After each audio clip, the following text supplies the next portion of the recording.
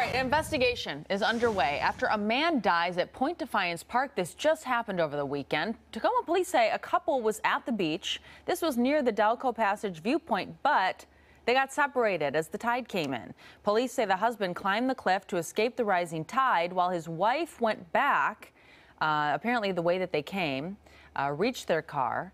911 then received a call from someone reporting a body in the water. So Metro Parks Tacoma saying that this is devastating. And they're just trying to remind visitors to look up tide times and follow the signs. And if you get stuck, you call 911, but you don't climb the cliffs.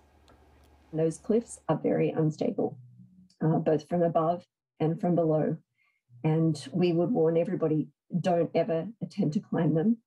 And especially when you're walking along the beach, uh, uh, along below them on the beach, be aware of tide times.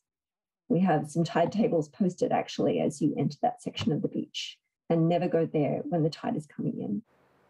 Okay, so she added that there are several rescues every single year handled by emergency responders. Sounds like just like this. Yep. Okay.